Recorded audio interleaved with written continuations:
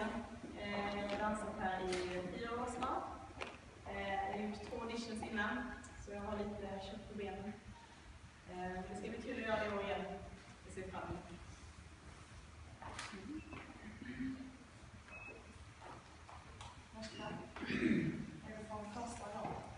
det. Den är samba-video.